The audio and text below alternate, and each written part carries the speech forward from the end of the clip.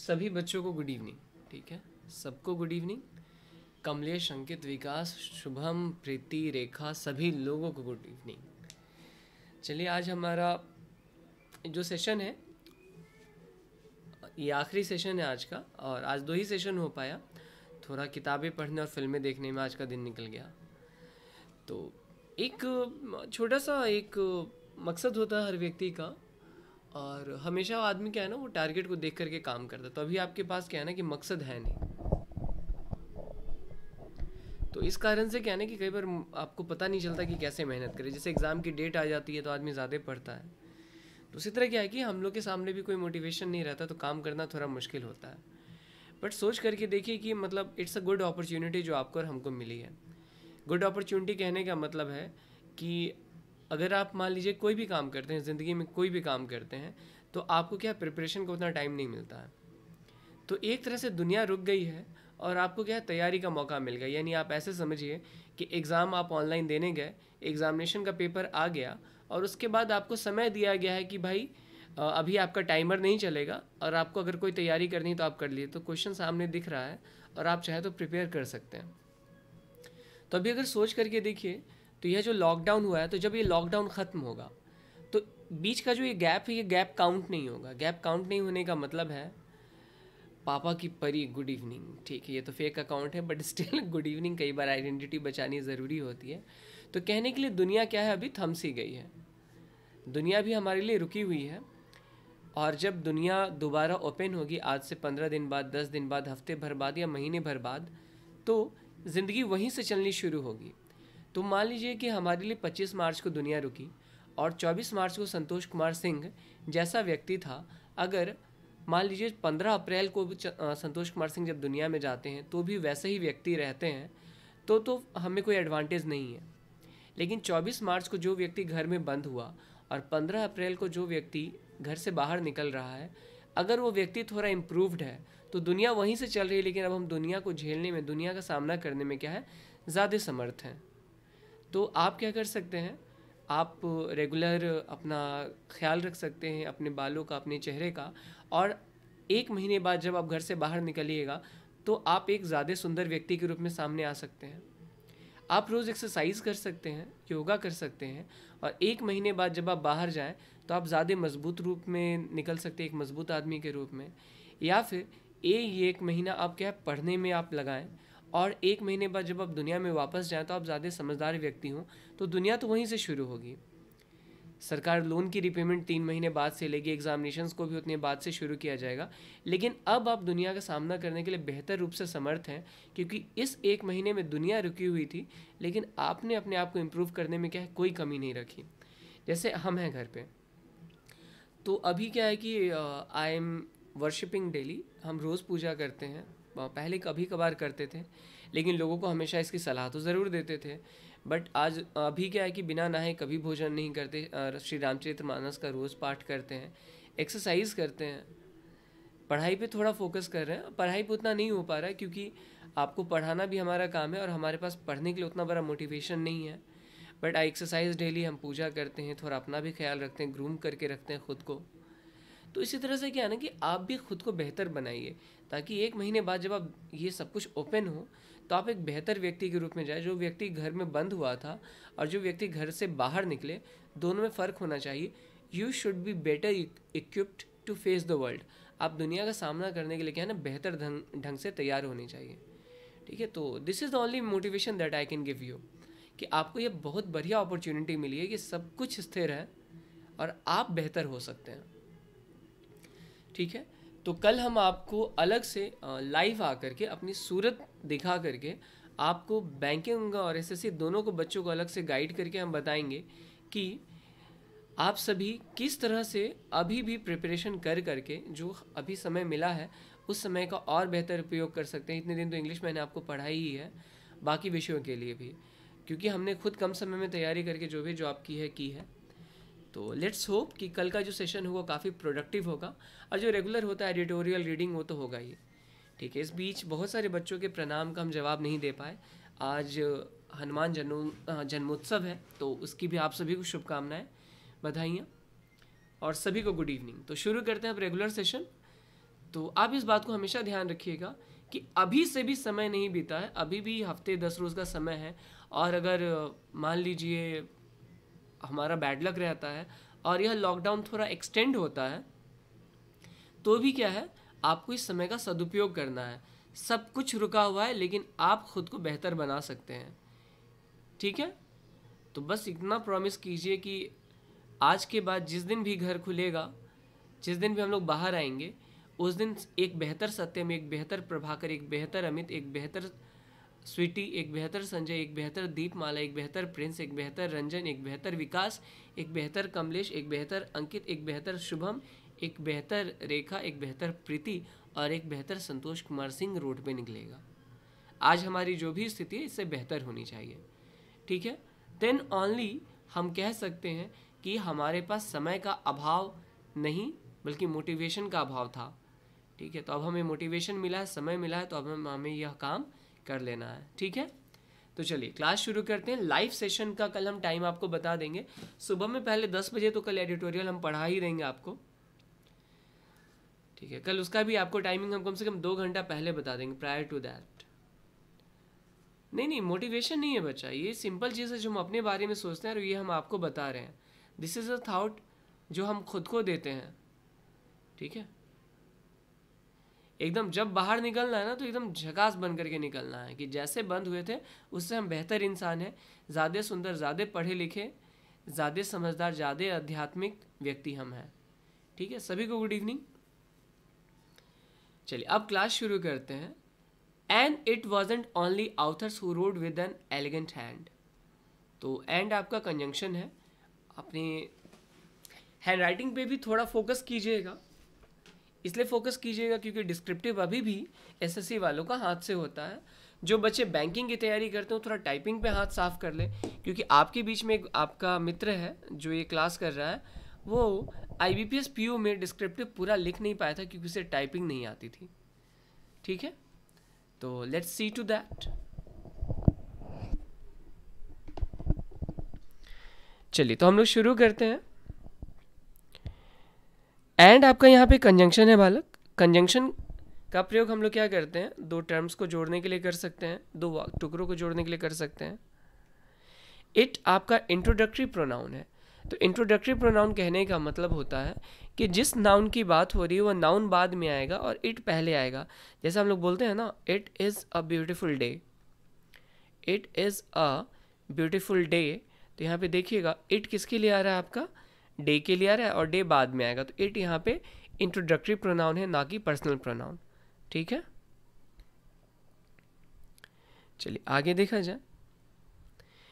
सो so, यहाँ पे it आपका प्रोनाउन है। कैसा प्रोनाउन है ये हमने बता दिया।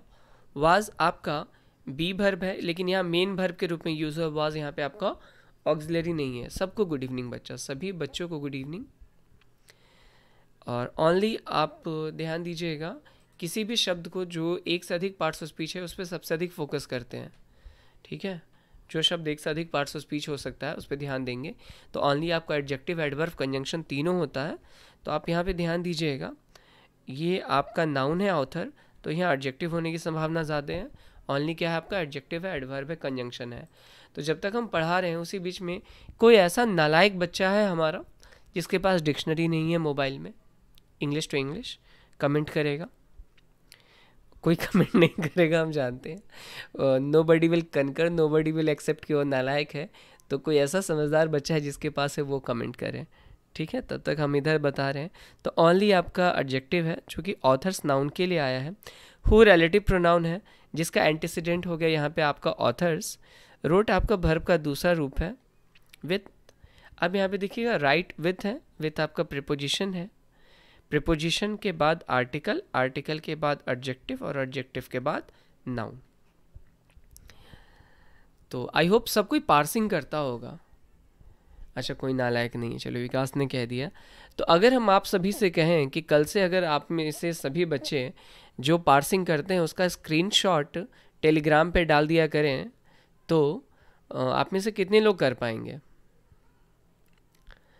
ठीक है? अगर हम आपसे कहें कि जो आप पार्सिंग करते हैं हमारे कहने पे, वो कितने लोग आप में से डाल पाएँगे टेलीग्राम वाले ग्रुप पे तो अच्छा रहेगा। कल से अगर आप डाल देंगे, इससे क्या है ना कि आपको भी एक मोटिवेशन मिलेगा कि चलो मतलब इतने लोगों में से सिर्फ़ हमने किया है। ठीक है? चलिए, आगे देखेंगे मोस्ट तो आप यहाँ पे ध्यान दीजिएगा कि इधर बहुत सारे एडजेक्टिव्स ऐसे आ रहे हैं, जिनके साथ ऑफ़ पॉजिटिव आता है।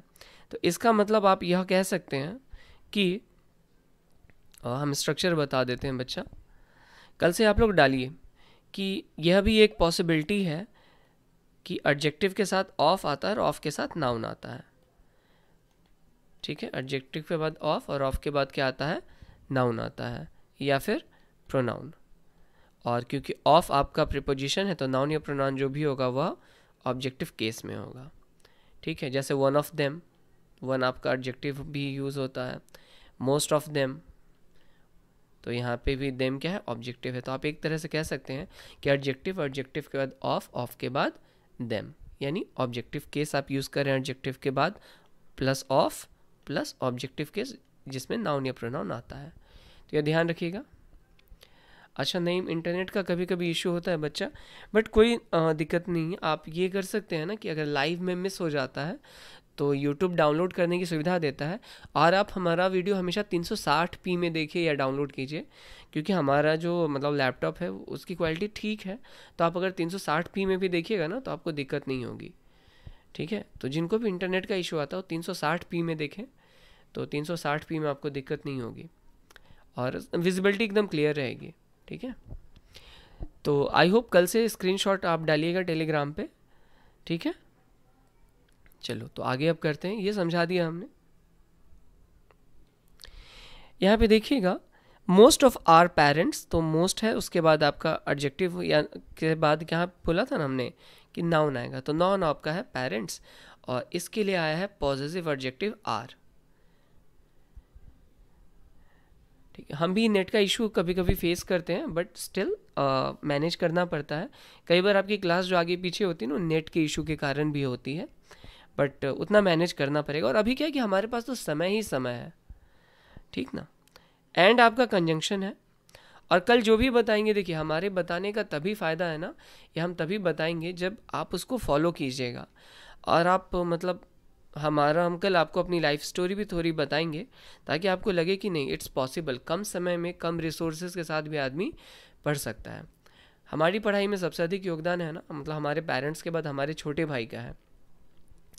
मतलब आदमी अपने छोटों को मोटिवेट करता है बट कई बार क्या होता है कि छोटे आपको ज़्यादा मोटिवेट करते हैं। तो हमारी पढ़ाई में हमारे माता पिता के बाद सबसे अधिक अगर किसी का योगदान तो हमारे छोटे भाई का है। I will share these things with you और थोड़ा कॉपी लेकर के रखिएगा so I can share a schedule with you कि आप कैसे कम समय में तैयारी कर सकते हैं। फिफ्टी डेज़ किसी भी एग्ज़ाम के लिए मोर देन सफिशियंट है। मतलब ज़ीरो से अगर आप शुरू करते हैं तो।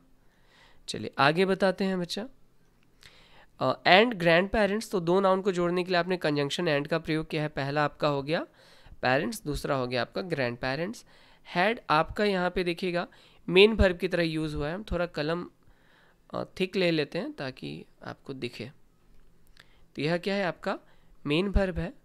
तो मेन भर्ब है, अगर आप हैज़ या हैव को या हैड को मेन भर्ब मेन भर्ब की तरह यूज़ कीजिएगा ना। गुड इवनिंग सुमित तो उसके साथ हमेशा क्या है नाउन आना चाहिए, क्योंकि आपको हम समझा देते हैं।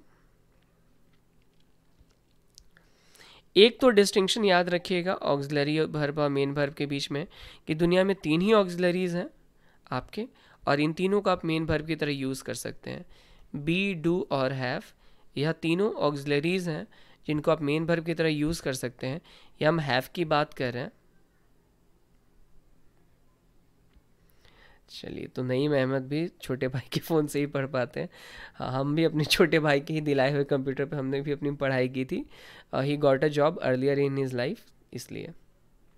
हाँ कल प्रभाकर बताएँगे मैथ के लिए बच्चा। और मैथ्स का तुम लोग से टॉपिक भी फीडबैक ले करके बैंकिंग वाला मैथ्स कुछ पढ़ाएँगे। ठीक है, क्योंकि लग रहा है कि एक्सटेंड होगा। कुछ लोगों की बेवकूफ़ी का खामियाजा पूरा देश भुगतेगा। सभी स्टूडेंट सभी नौकरी पेशा, सभी बिजनेसमैन लोगों को हमारे पिताजी ठेकेदार हैं, ठीक है? मतलब बिल्डिंग कंस्ट्रक्शन में उनका है।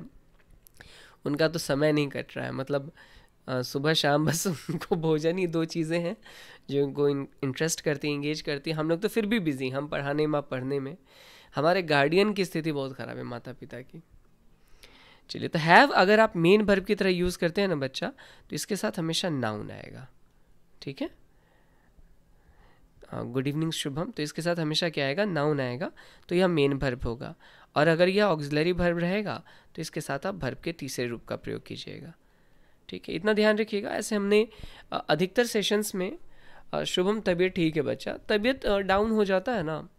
एक तो काम नहीं है करने को उतना। आपको पढ़ाते हैं, उसके अलावा कोई एक्टिविटी नहीं रहती है एक्सरसाइज कर रहे थे। बट एक होता है ना कि लेट से सोना लेट से उठना। मतलब अभी सोने का शेड्यूल गड़बड़ था हमारा तो हमने क्या कि बिल्कुल अपने शेड्यूल को एकदम टाइट कर लिया है। ठीक है? छुट्टी का कुछ नहीं कह सकते रवि, आप और हम।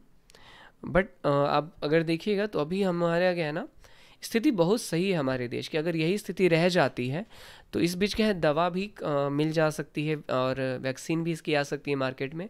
उसके बाद क्या है कि दवा और वैक्सीन आने के बाद है ना अगर यह बीमारी रहती है तब भी बाहर निकलने में कम कम से कम हमें यह लगेगा कि अगर बीमार हम पड़ भी जाते हैं तो हम बच सकते हैं। अभी इलाज नहीं है तो आप और हम निसहाय होकर के देख सकते हैं। ठीक है तो लेट्स होप कि सरकार लेट से ही खोले बट तब खोले जब सरकार को लगे कि एवरीथिंग इज़ अंडर कंट्रोल तो हमारी तबीयत ठीक है, बस उठने का शेड्यूल और सोने का शेड्यूल गड़बड़ था। इस कारण से थोड़ा डाउन फील कर रहे थे फीवर भी आपको तभी परेशान करता है तो हमने अपना शेड्यूल ठीक कर लिया है। तो यहाँ बता रहे थे कि अगर हैव ऑक्सिलरी भर्ब रहेगा तो उसके साथ भीतरी आएगा, और अगर मेन भर्ब रहेगा तो उसके साथ नाउन आएगा। तो यहाँ पे हमने कहा था मेन भर्ब है तो लेट्स चेक इट आउट तो हैड यहाँ पे हमने यूज़ किया हैव का ही फॉर्म है, इसलिए उसके लिए परेशान नहीं होना है। और जो नाउन इसके साथ आ रहा है, वो है स्टाइल्स और स्टाइल्स नाउन के लिए एडजेक्टिव यूज़ कर रहे हैं हम लोग डिस्टिंक्टिव ठीक है? ऑफ़ देयर ओन तो दो नाउन को जोड़ने के लिए आपने ऑफ़ का प्रयोग किया, पहला नाउन स्टाइल्स दूसरा नाउन आप यहाँ पे ना यूज़ करके प्रोनाउन फॉर्म यूज़ कर रहे हैं तो आप जानते हैं नाउन को प्रोनाउन रिप्लेस करता है। तो ऑफ़ यहाँ पे है, और देयर ओन आप यूज़ कर रहे हैं देयर यहाँ पे आपका पॉजिटिव एडजेक्टिव है। हमेशा ध्यान दीजिएगा कि पॉजिटिव एडजेक्टिव और पॉजिटिव प्रोनाउन में फ़र्क होता है। पॉजिटिव एडजेक्टिव के साथ क्या यूज़ करते हैं? हमेशा हम लोग यूज़ करते हैं नाउन का प्रयोग करते हैं। ये समझा दे रहे हैं आपको। आई हैव अ हाउस अगर मेरे पास एक घर है तो हम कह सकते हैं दिस इज़ माई हाउस तो यहाँ पे जो माई है वो पॉजिटिव ऑब्जेक्टिव है, इसके बाद नाउन आएगा। या फिर हम कह सकते हैं दिस हाउस इज़ माइन और यह जो है, यह पॉजिटिव प्रोनाउन है। ठीक है? तो ओन यहाँ पे हम लोग यूज़ कर रहे हैं प्रोनाउन के तौर पे, और देयर जो है आपका पॉजिटिव ऑब्जेक्टिव हो जाएगा। तो यह प्रोनाउन है तो एक तरह से नाउन की ही कैटेगरी का हुआ नाउन के ही गुण को यह क्या करेगा? कैरी करेगा। तो इतना समझ में आया होगा तो हम थोड़ा मिटा देते हैं। मिटाने से क्या है ना कि विजिबिलिटी बढ़ जाएगी।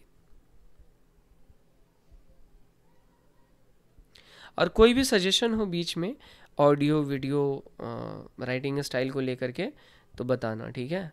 आ, क्योंकि हम भी चाहेंगे कि जब ये लॉकडाउन ख़त्म हो तो जब हम बाहर निकले तो I should emerge as a better teacher एक बेहतर शिक्षक के रूप में हम बाहर निकले। चलिए आगे देखा जाए। I still have my father's last letter तो यहाँ पे ध्यान दीजिएगा, अगर हैव मेन भर्ब है तो वह क्या कर सकता है?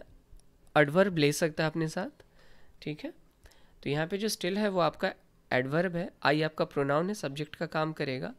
स्टिल आपका क्या हो गया? एडवर्ब है, जो कि हैव मेन भर्ब के लिए आएगा, और हैव मेन भर्ब है तो इसके साथ नाउन होना चाहिए। तो नाउन है आपका लेटर जिसके लिए एडजेक्टिव आ रहा है आपका लास्ट और फादर्स क्या है? आपका पॉजिटिव है। तो दो नाउन को जोड़ने के लिए आपने एपस्ट्रफे का प्रयोग किया है। यहाँ पे एक और पॉइंट आपको समझाना चाहेंगे। अगर आप दो नाउन को जोड़ते हैं ऑफ़ से तो पहले नाउन की बात हो रही है। और अगर एपस्ट्रफे एस से जोड़ते हैं तो हमेशा दूसरे नाउन की बात होती है। तो यहाँ पे बात हो रही है लेटर की, क्योंकि एपस्ट्रफे एस से आपने जोड़ा है तो बाद वाला नाउन उसी की बात हो रही है। फादर की बात नहीं हो रही। तो इन्होंने कहा राइटर ने फादर्स लेटर तो फादर आपका पहला नाउन हो गया लेटर दूसरा नाउन दोनों को जोड़ने के लिए आपने एपस्ट्रफे एस का प्रयोग किया है। अच्छा एक थोड़ा बताना पार्सिंग किसका किसका अब थोड़ा क्लियर हुआ है बच्चा? हमको मतलब कमेंट में बताओ तो कि किसका किसका पार्सिंग पे अब थोड़ा कमांड आया है। रिटर्न टू मी रिटर्न यहाँ पे भर्ब का तीसरा रूप है पार्टिसिपल फॉर्म है। टू आपका प्रेपोजिशन है और प्रेपोजिशन के साथ जो भी नाउन या प्रोनाउन आएगा वह ऑब्जेक्टिव केस में आएगा। वेन आपका एडवर्ब ऑफ़ टाइम है आई है सब्जेक्ट वाज बी भर्ब का रूप है मेन भर्ब है, यहाँ पे ध्यान दीजिएगा। और मेन भर्ब है तो इसके साथ कोई ऑक्सिलरी भर्ब नहीं रहेगा। अच्छा सत्यम आपने आज से शुरू किया तो कोई इशू नहीं है बच्चा। ये इक्कीसवा वीडियो है, आराम से समय निकाल करके, पीछे का भी चार पाँच वीडियो आप देख लीजिएगा ना तो आपको आइडिया लग जाएगा कि हम लोग कर क्या रहे हैं। ऐट आपका प्रिपोजिशन है, और बोर्डिंग स्कूल में अगर आप चाहें तो बोर्डिंग को ऑब्जेक्टिव की तरह यूज़ कर सकते हैं। दीपमाला, बच्चा, तुम तो बहुत नए हो अभी, ठीक है? और आप बिल्कुल नए हो और इसमें आप अगर ऐसा कह रहे हो तो बहुत अच्छी बात है। तुम्हारा कौन सा टॉपिक चल रहा था क्लास में? जैसा कमेंट में बताना तो बच्चा। चलिए तो बोर्डिंग स्कूल को आप कंपाउंड नाउन की तरह भी ले सकते हैं या फिर स्कूल को नाउन ले सकते हैं और बोर्डिंग को आप ऑब्जेक्टिव बोल सकते हैं। ठीक है? आगे है ओवर सिक्सटी ईयर्स अगो तो ओवर आप क्या है ना एडवर्ब के रूप में जब यूज़ करते हैं तो उसकी मीनिंग होती है मोर देन दैट ठीक है? यानी से थोड़ा अधिक। प्रिपोजिशन भी है एडवर्ब भी है। यहाँ पे एडवर्ब की तरह यूज़ करते हैं।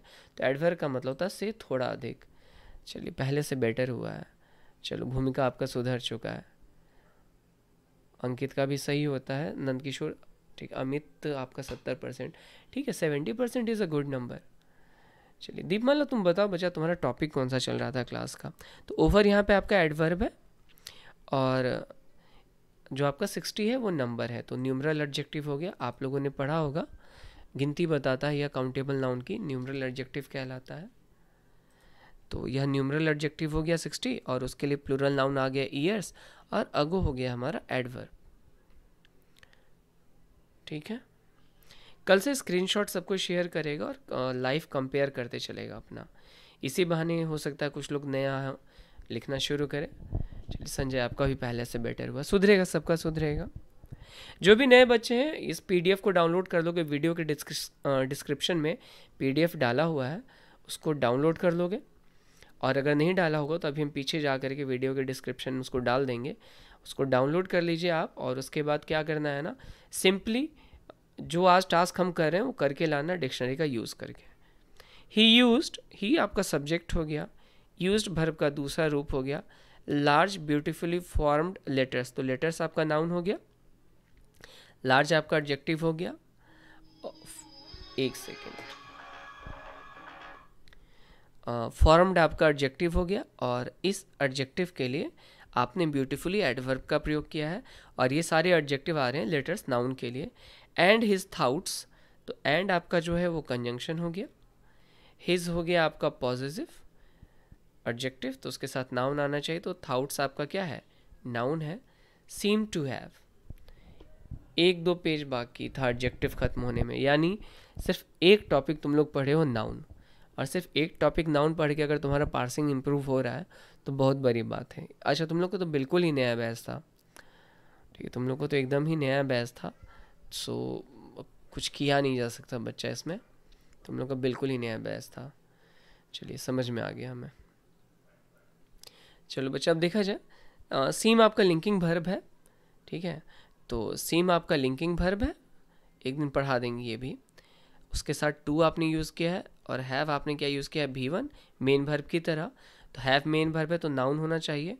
तो दो नाउन है यहाँ पे, एक है फ्लो दूसरा है क्लैरिटी और उसके लिए एडजेक्टिव आया है आपका सेम और आर्टिकल आया है the as his handwriting as आप यहाँ पे देखिएगा हमेशा ध्यान दीजिएगा एज और लाइक like, इसमें थोड़ा क्या होता है बच्चों को डाउट रहता है एज में और लाइक like में। तो एज कंपेयर करने के लिए आप यहाँ यूज़ करें प्रिपोजिशन तो उसकी हैंड राइटिंग जैसा तो एज यहाँ पे आपका क्या है प्रिपोजिशन है। हिज आपका पॉजिटिव हो गया और हैंड राइटिंग आपका क्या हो गया नाउन हो गया भर्ब का चौथा रूप यहाँ पे नाउन का काम कर रहा है। ठीक है, चलिए इसको मिटाते हैं और लास्ट लाइन का बस पार्सिंग कर लेते हैं। न्यूज़पेपर का भी जो पहला है फ्रंट पेज का हेडलाइन उसको पार्स करके रखना सभी बच्चों को। और हम आपको अब लाइक्स शेयर और सब्सक्राइब करने के लिए नहीं कहेंगे, बहुत भिकमंगी लगती है। ठीक है?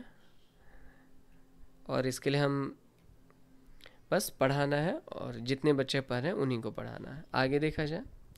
In his letters in preposition his positive adjective और देखोगे ना, अगर पाँच छः दिन जो लगातार पार्सिंग करता है ना, उसको लगेगा कि सब कुछ तो रिपीट हो रहा है। और ऐसा हर जगह सही है। लेटर आपका नाउन है बच्चा यहाँ पे। ही आपका सब्जेक्ट हो गया थर्ड पर्सन सिंगुलर नाउन तो उसके साथ भर्ब का पाँचवा रूप। नाइन ईयर ओल्ड रस्किन तो रस्किन आपका नाउन हो गया नाइन ईयर ओल्ड एडजेक्टिव है। क्यों है, कैसे ही, एक दिन समझा देंगे। अबाउट आपका प्रिपोजिशन है। हिज पॉजिटिव है और हैंड राइटिंग आपका नाउन है तो आप देखिएगा। Preposition positive noun preposition positive noun यानी एक तरह से ये स्ट्रक्चर है। नहीं, सत्यम, घर से क्लास ले रहे हैं बच्चा। ठीक ना? घर से ही क्लास लेते हैं। Everything is at home board camera वो सब भी है घर पे। बट बोर्ड से पढ़ाने के बजाय अभी लैपटॉप से ही चल रहा है क्लास ठीक है तो आई होप यहाँ तक समझ में आया होगा। तो अब मीनिंग समझा देते हैं।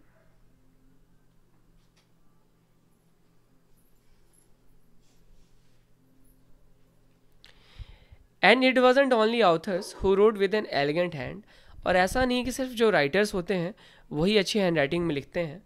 मोस्ट ऑफ़ आर पेरेंट्स हाँ घर से क्लास ले रहे हैं Gautam. Most of our parents हम में से अधिकतर लोगों के माता पिता एंड ग्रैंड पेरेंट्स और दादा दादी नाना नानी had distinctive styles of their own की अपनी अलग स्टाइल थी लिखने की। I still have my father's last letter मेरे पास अभी भी मेरे पिताजी की आखिरी चिट्ठी है। रिटर्न टू मी, जो उन्होंने मुझे लिखी थी when I was at boarding school over sixty years ago जब मैं बोर्डिंग स्कूल में था, आज से तकरीबन साठ साल पहले ही use large beautifully formed letters तो बड़े बड़े और सुंदर अक्षरों का प्रयोग करते थे and his thought seem to have the same flow and clarity as his handwritings और उनके जो विचार थे तो कई बार क्या होता है ना कि हमारी, मान लीजिए आवाज़ आपको मधुर लगे। लेकिन हो सकता है हमारे बोलने का या जो वाक्य हम बोलते हैं, वो थोड़े उलझे हुए हों, यानी आपको अर्थ पता नहीं चलता हो। लेकिन यहाँ पे कहा जा रहा है कि हमारे पिताजी की जितनी साफ़ सुथरी हैंड राइटिंग थी, उनके थाउट्स भी उतने साफ़ सुथरे थे। यानी वो उतने ही स्पष्ट ढंग से अपनी बात कह पाते थे। थाउट्स का मीनिंग यहाँ पे है कहने का तरीका। In his letters he advises nine year old Ruskin about his handwriting और उन्होंने अपनी चिट्ठी में उस समय नौ साल के थे रस्किन बॉन्ड, और उनको कहा है कि अपनी हैंड राइटिंग थोड़ी क्या है, सुधारो। और यहाँ पे जो इटैलिक में दिया हुआ है, ये पूरा टेक्स्ट, यह जो पूरा टेक्स्ट है, यह उनका लिखा हुआ है, यानी उस लेटर का एक्सेप्ट है। E X C E R P T ठीक है? यहाँ पे जो हमने टर्म अभी बोला, वो हमने यूज़ किया है excerpt E X C E R P T इसका मतलब होता है, किसी रिटर्न मटेरियल से जो हम लोग उठा करके डालते हैं ना मान लीजिए एक दस लाइन की चिट्ठी, उसमें से तीन लाइन उठाया तो उसे एक्सेप्ट कहेंगे। तो आपको लगता है तीन लाइन की चिट्ठी होगी? नहीं। तो यहाँ पे जो है, उस चिट्ठी का एक एक्सेप्ट दिया गया, एक छोटा सा उसमें से उदाहरण उठाया गया है। I want to write before about your writing I wanted to write before मैं पहले भी तुम्हारी हैंड राइटिंग के बारे में अच्छा थैंक यू प्रिंस लिखना चाहता था Ruskin sometimes I get letters from you in very small writing कई बार मुझे तुम्हारी चिट्ठियाँ मिलती हैं बहुत ही छोटे अक्षरों में as if you wanted to squeeze everything into one sheet of paper जैसे कि तुम चाहते हो कि सारी बात एक पन्ने में ही क्या है, डाल दी जाए। It is not good for you for और फॉर योर आइज़ ये ना तुम्हारे लिए अच्छा है, ना ही तुम्हारी आँखों के लिए to get into the habit of writing so small कि तुम यह आदत डालो कि छोटे अक्षरों की आदत डालो तो ना ये तुम्हारे लिए बढ़िया होगा, ना तुम्हारे आँखों के लिए। Try and form a large style of handwriting कोशिश करो कि बड़े अक्षरों में लिखना शुरू करो। Use more paper if necessary अगर ज़रूरत पड़े तो ज़्यादा कागज़ का प्रयोग करो। आई डिड माई बेस्ट मैंने अपना बेहतर से बेहतर करने की कोशिश की टू फॉलो हिज एडवाइस ताकि मैं उनकी सलाह को फॉलो कर सकूँ। अभी क्या किए ना कि हम एडिटोरियल में अब उतना पार्सिंग नहीं करते हैं। उसके बावजूद भी एडिटोरियल थोड़ा क्या लंबा खिंच जा रहा है। ऐसा इसलिए किए हैं ना क्योंकि अगर आप दोनों काम एक साथ करते हैं ना थोड़ा मिक्सअप हो जाता है। तो पार्सिंग यहाँ कर ले रहे हैं और एनालिसिस हम लोग एडिटोरियल में कर लेते हैं। तो आई होप तुम लोग एडिटोरियल डेली फॉलो कर रहे हो इधर, ठीक है? तो मैंने अपना बेस्ट किया ताकि उनकी सलाह को फॉलो कर सकूँ and I am glad to report that after a lifetime of penmanship और मैं यह बताने में मुझे खुशी हो रही है कि ज़िंदगी भर लिखने के बाद पेनमैनशिप का मतलब लिखने के बाद my handwriting is still readable अभी भी मेरी हैंड राइटिंग क्या है? लिखने योग्य है। सॉरी पढ़ने योग्य है। मतलब इतने साल लिखने के बावजूद भी मेरी हैंड राइटिंग ख़राब नहीं हुई है। तो यहाँ पे लेखक एक तरह से कह रहे हैं, कुछ चीज़ें इस्तेमाल से ख़राब होती हैं, लेकिन कुछ चीज़ें इस्तेमाल से बेहतर होती हैं। Handwriting is just one of those things. चलिए तो ये बहुत बड़ा पैराग्राफ है, इसको अगर छोड़ेंगे तो फिर आप इतना पार्सिंग नहीं कर पाएँगे तो ये हम, लेकिन ये बहुत ही बढ़िया पैराग्राफ है। तो इसको हम पार्स करने के लिए दे देते हैं, वर्ड से लेकर के मशीन तक। ठीक है? ज़्यादा लंबा नहीं दे रहे हैं। इतना कर करके रखिएगा कल। अगर आप इतना कर लीजिएगा तो फिर आप अपना करने के बाद, स्क्रीनशॉट क्या है, पाँच बजे के बाद वह जो टेलीग्राम ग्रुप का लिखे हैं उसमें डाल दीजिएगा। हम इसलिए आगे नहीं पढ़ा रहे हैं ना, क्योंकि सेशन थोड़ा छोटा रखेंगे ना तो आप इंटरेस्टेड रहिएगा। दूसरा, यह पैराग्राफ पढ़ के भी देखना है खुद से, कि आप इसकी मीनिंग को खुद से निकाल पाते हैं नहीं निकाल पाते हैं। ठीक ना? अब वो न्यूज़पेपर वाला कर लेते हैं पार्सिंग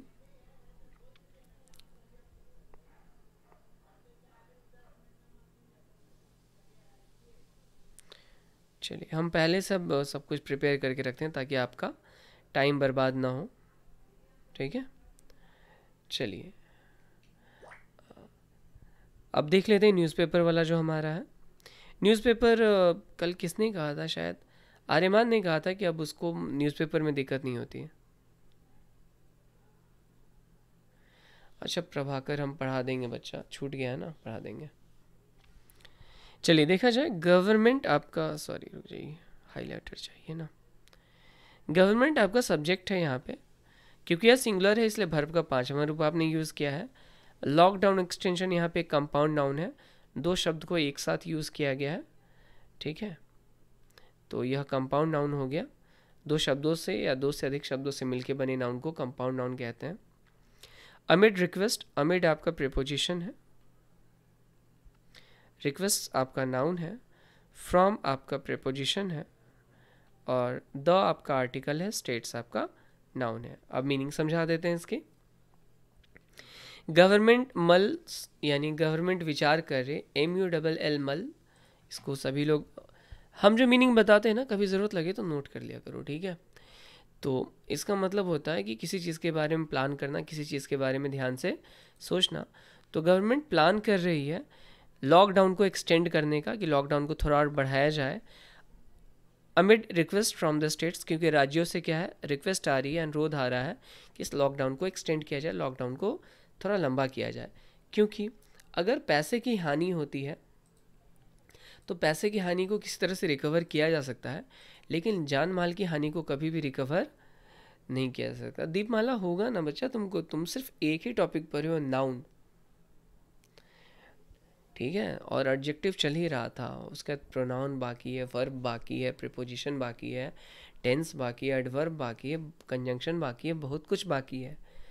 ठीक है? अभी तो आप लोगों का सिर्फ़ डेमो ख़त्म हुआ था। बट जो बता रहे हैं, करो। क्लास लेंगे। अगर एक्सटेंशन की बात होती है if the government decides to extend the lockdown तो फिर टोटल क्लास लेंगे जो चलती थी। तो यहाँ पे आपने समझ लिया कि अमिट का मतलब था के बीच रिक्वेस्ट आ रहा है। भूमिका क्लोज टेस्ट का क्लास कल से करा दे रहे हैं बच्चा। कल दो घंटा का क्लास ले लेंगे, दिन में दो टाइम ठीक है? चलो। तो हेडलाइन तो हम बता दे रहे हैं ना, अभिजीत। आपको जहाँ दिक्कत हो, रोज़ करते रहिए प्रैक्टिस ठीक हो जाएगा। ठीक है? कंटिन्यूटी रेगुलरिटी यही दो चीज़ें हैं। जैसे आप देखिएगा हमारे चैनल का तो आपको दिख रहा होगा हाँ मेनी पीपल आर लाइव तो तीन से हमने शुरू किया था, आज 21 लोग लाइव हैं। तो कंटिन्यूटी के कारण ही ऐसा होता है। तो जैसे हमें पता है कि अगर हमें सफल होना है तो I have to be continuous हमें कंटिन्यूड रहना है, जारी रखना है इस काम को। तो आप भी कंटिन्यूटी में काम करोगे ना तो निश्चित तौर पे इम्प्रूव होगा बच्चा। ठीक ना? इसलिए एकदम चिंता मत करो, आप रेगुलरली बस जुड़े रहिए, अपने आप इम्प्रूव होगा। ठीक है? चलिए तो आगे हम बता देते हैं। Many states have applied sorry appealed है। सॉरी मिस हो गया हम इसे। तो मेनी आपका एडजेक्टिव है प्लूरल नाउन के लिए आता है। तो स्टेट्स आपका प्लूरल नाउन हो गया। प्लूरल नाउन के साथ हैव लगाते हैं। हैव आपका ऑक्सिलरी वर्ब है। हैव के साथ यह भी थ्री आ गया मेन वर्ब है। फॉर प्रिपोजिशन प्रिपोजिशन के बाद पॉजिटिव जो कि अभी आपने देखा, और कंटिन्यूएशन हो गया आपका noun in the face of एक इडियम होता है। इन द फेस ऑफ़ आपका क्या होता है? इडियम होता है, इसकी मीनिंग अभी हम बता देंगे। राइज हो गया आपका नाउन इन हो गया आपका प्रिपोजिशन कोविड नाइन्टीन केसेस हो गया कंपाउंड नाउन यानी एक से अधिक शब्दों से मिल करके बना नाउन नाउन की जगह हमेशा दूसरा शब्द लिख दिया कर रहे हैं। ठीक है? अच्छा प्रभाकर कॉमन एरर का कोई कंटेंट नहीं मिल रहा है हमको। बढ़िया क्वेश्चन का करा देते हैं। करा देते हैं, आप निश्चिंत रहिए, हम कल कराएँगे। ठीक है? ऑनलाइन बहुत सारे टीचर्स हैं बोल करके मुकर जाते हैं हम नहीं मुकरेंगे, हम कल करा देंगे तो करा देंगे। तो कई सारे राज्यों ने अपील की है फॉर इट्स कंटिन्यूएशन किसको जारी रखा जाए इट प्रोनाउन है, पीछे आ चुका है। जो नाउन यानी लॉकडाउन उसके लिए है। इन द फेस ऑफ़ को देखते हुए इन द फेस ऑफ़ एक एडियम है जिसकी मीनिंग होती है, को देखते हुए। Rise in COVID nineteen cases COVID nineteen यानी वुहान कोरोना वायरस के बढ़ते हुए केसेस को देखते हुए अधिकतर राज्य सरकारों ने अपील की है कि इसे कंटिन्यू किया जाए। इसे मतलब लॉकडाउन को। ठीक है? चलिए, अब ये न्यूज़ देख लेते हैं। थोड़ा इसको इंक्रीज़ कर देते हैं साइज़ ताकि थोड़ी विजिबिलिटी बेहतर हो। और आप अपना डेटा बचाने के लिए 360 पी में देखिए, आपको साफ़ पता चलेगा। ठीक है? क्योंकि हम कंटेंट बहुत ही हाई क्वालिटी में स्ट्रीम करते हैं तो आप 360 पी में भी देखिएगा ना तो आपको पता चलेगा। चलिए द यूनियन गवर्नमेंट आपका कंपाउंड डाउन हो गया यहाँ पे बच्चा। ठीक है? ऑन प्रिपोजिशन है।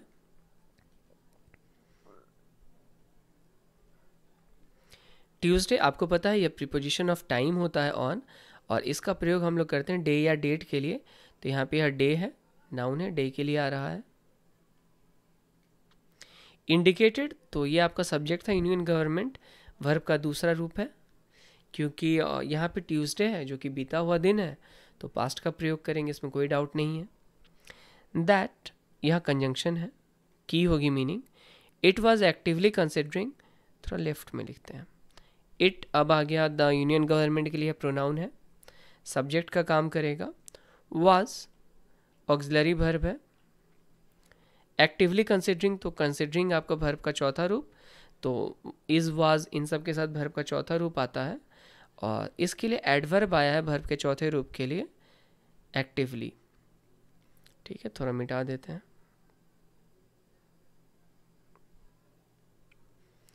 एन एक्सटेंशन एन आर्टिकल हो गया आपका एक्सटेंशन आपका क्या हो गया? नाउन हो गया। तो नाउन को जोड़ने के लिए आपने ऑफ़ का प्रयोग किया है। तो 24 दिन का या 21 दिन का जो लॉकडाउन है यह आपका दूसरा नाउन हो गया कंपाउंड नाउन की तरह इसको लेके चलिए। इन द फेस ऑफ़ हाँ को देखते हुए, का विचार करते हुए दैट यहाँ पे रिलेटिव प्रोनाउन है दैट कंजंक्शन नहीं है, जो कि इस लॉकडाउन के लिए आ रहा है। दैट बिगैन भर्ब का दूसरा रूप ऑन मार्च प्रिपोजिशन डे या डेट के लिए आता है। मार्च पच्चीस आपका डेट है। एंड कंजंक्शन है इज़ ड्यू टू तो ओइंग टू और ड्यू टू आप लोग पढ़े होंगे, अधिकतर लोग पढ़े होंगे, ठीक है? तो वही वाला ड्यू टू है। ओइंग टू या ड्यू टू जो आप यूज़ करते हैं, वही ड्यू है यहाँ पे, ठीक है? तो ड्यू का प्रयोग हम लोग क्या है? एडजेक्टिव नाउन एडवर्ब सबके रूप में करते हैं।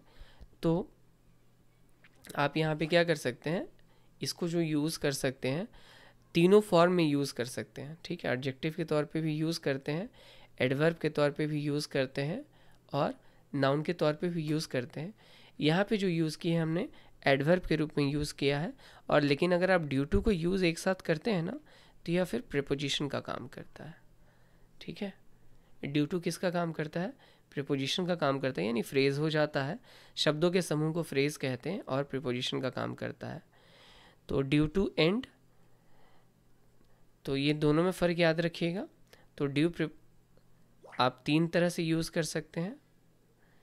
एडजेक्टिव के रूप में, जिसमें जैसे ड्यू डेट यूज़ करते हैं तो हाँ वो एडजेक्टिव हो गया।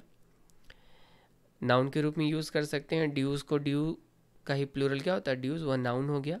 और उसके अलावा एडवर्ब के रूप में आप यूज़ कर सकते हैं। ठीक है? तो तीसरा जो इसकी मीनिंग होती है, वो होती है एडवर्ब के रूप में। लेकिन जब ड्यू टू हम लोग यूज़ करते हैं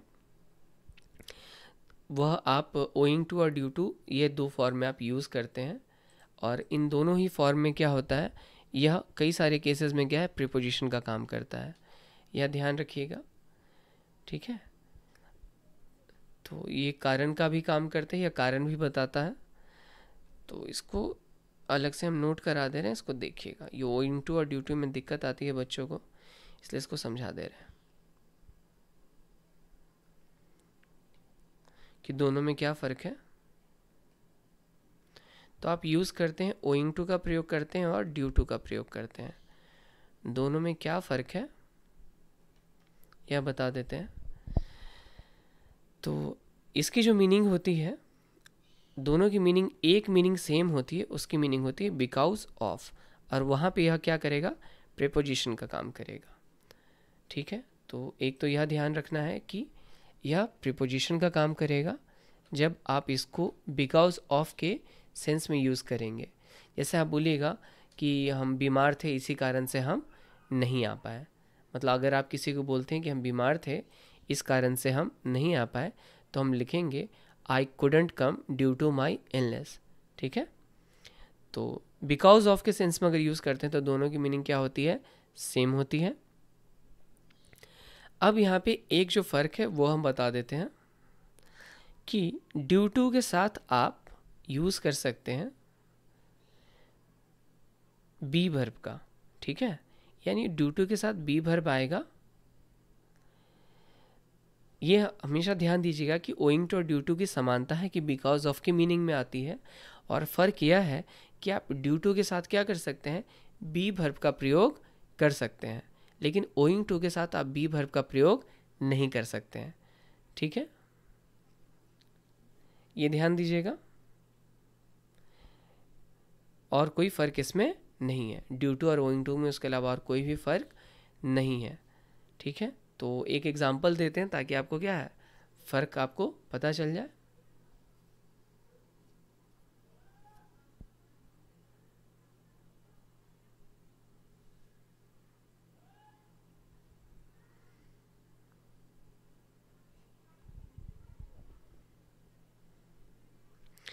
जैसे लिखेंगे my absence was due to तो आप बी भर्व के साथ क्या है? ड्यू टू का प्रयोग कर सकते हैं। ठीक है? इसका हमेशा ध्यान दीजिएगा। यही एक फ़र्क है। और यहाँ पे आप ओइंग टू का प्रयोग नहीं कर सकते हैं। तो यही फ़र्क है ओइंग टू और ड्यू टू में। और आप क्या कर सकते हैं इसके साथ? क्योंकि यह बिकॉज़ ऑफ़ की मीनिंग देता है और ऑफ़ प्रिपोजिशन तो इसके साथ आप नाउन का प्रयोग भी कर सकते हैं। लेकिन एकमात्र फ़र्क यह है कि ड्यू टू के साथ बी भर्व का रूप आ सकता है ओइंग टू के साथ बी भर्व का रूप नहीं आ सकता है। एज एम आर हो वाजवेयर हो कुछ भी हो। ये हम कई दिनों से सोच रहे थे कि आ, कभी अगर मौका मिला तो बताएँगे। आज आ, सामने आया तो हम ये सोचे कि समझा दें। ठीक है यही एक फ़र्क है उसके अलावा कोई फ़र्क नहीं है। चलिए तो अब पार्सिंग कर लेते हैं। तो यहाँ पे ड्यू टू एंड है तो ड्यू का आप प्रयोग कर लीजिए। इज़ अबाउट टू एंड कह सकते हैं, या इज़ ड्यू टू एंड तो यहाँ एडवर्बियल फॉर्म है टू प्लस भी वन है। और इस भर्व के लिए क्या है? एडवर्बियल का काम करेगा यहाँ पे, आगे जाके मीनिंग देख करके हमने देख लिया कि बिकॉज़ ऑफ़ की मीनिंग नहीं आ रही है। अगर बिकॉज़ ऑफ़ की मीनिंग आती तो उसको प्रिपोजिशन की तरह ट्रीट करते हैं। तो यह ख़त्म होने वाला था, कब ख़त्म होने वाला था? यह आप बता रहे हैं प्रिपोजिशन का प्रयोग करके और प्रिपोजिशन के साथ आप डेट यूज़ कर रहे हैं, चौदह अप्रैल। एज एज का प्रयोग कंजंक्शन के रूप में यहाँ पे किया गया है। कंजंक्शन का पहचान यही होता है कि कंजंक्शन दो क्लाउजेस को जोड़ता है, और कल बताए थे क्लाउज की पहचान क्या होती है कि उसमें एक सब्जेक्ट और एक फाइनाइट वर्ब होना चाहिए। तो मेनी स्टेट्स आपका क्या हो गया? सब्जेक्ट हो गया मेनी आपका adjective states plural noun have हो गया ऑक्सिलरी भर्ब और अपील्ड हो गया भर्ब का तीसरा रूप और ओपनली हो गया आपका एडवर्ब तो यहाँ पे यह क्लाउज हो गया। Due to network problem so I didn't get it हाँ सत्यम, बिल्कुल दिखता है बच्चा। इसके लिए एक फंक्शनैलिटी होती है, उसको कहते हैं डी वी आर फंक्शनैलिटी हम उसको ऑन करके रखते हैं। आप 12 घंटे तक यह वीडियो लाइव मोड में दिखेगी, और 12 घंटे के बाद ऑफलाइन भी दिखेगी, ठीक है? तो किसी का भी अगर नेटवर्क का इशू रहा हो तो कोई दिक्कत नहीं। बाकी लोगों को दिक्कत नहीं था ना? रेखा को दिक्कत हुआ और सत्यम को हुआ। तो आप आराम से पीछे देखिएगा, दिख जाएगा, ठीक है? हमारे यहाँ से नेटवर्क इशू नहीं था, क्योंकि हम सामने अपने टेलीविज़न पे इसको लाइव देख रहे हैं। तो आप इसको पीछे से देख लीजिएगा। तो यहाँ पे एज आपका कंजंक्शन है, क्योंकि कंजंक्शन क्लाउज को जोड़ता है क्लाउज की पहचान होती है कि there should be a subject and there should be at least a finite verb तो यहाँ पे फाइनाइट वर्ब है आपका अपील अपील वर्ब के लिए ओपनली एडवर्ब आया है और ऑक्सिलरी वर्ब हैव आया है और सब्जेक्ट हमारा मेनी स्टेट्स चलिए। अपील फॉर समथिंग होता है तो अपील के साथ तो अपील फॉर समथिंग तो एक तरह से कह सकते हैं या फ्रेजल भर्ब है समथिंग यानी नाउन आना चाहिए तो कंटिन्यूएशन हमारा नाउन है, जिसके लिए पॉजिटिव एडजेक्टिव है आपका इट्स आप में से कमेंट करके बताना तो कितना बच्चा को अब दिख जाता है कि चलो ये पॉजिटिव है, ये ये है, ये ये है। क्योंकि अब तो दिखना चाहिए हमको लगता है, इतने दिन से पढ़ रहे हैं। एज फिर कंजंक्शन है तो सब्जेक्ट चाहिए बच्चा। तो देखिएगा number of COVID nineteen cases आपका सब्जेक्ट हो गया। Continue to rise V one ठीक है? और यह इन्फिनेटिव है टू प्लस भी वन और क्योंकि number of COVID nineteen cases plural है, ढेर सारे कोविड नाइन्टीन के केसेस हैं तो क्योंकि अगर वो प्लूरल है तो आप कंटिन्यू यानी भी वन का प्रयोग करेंगे। तो आई होप इतना समझ में आया होगा। और नहीं आया होगा तो कल फिर पार्सिंग करेंगे, कल फिर दिखेगा। अब मीनिंग समझा देते हैं।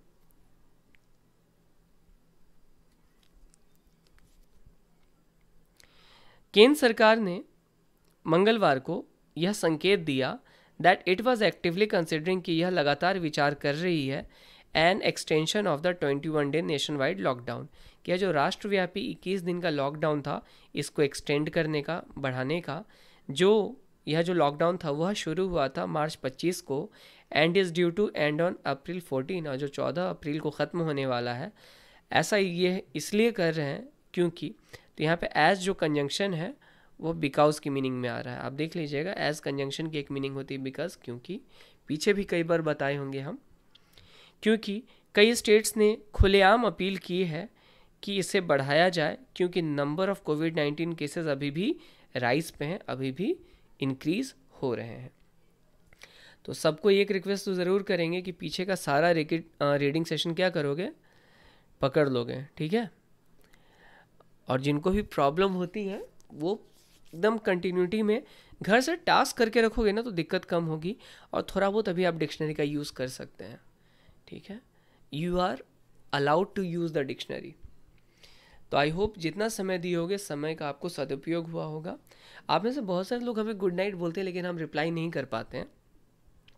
सो आज हम पहले आपको गुड नाइट बोल देते हैं, ठीक है?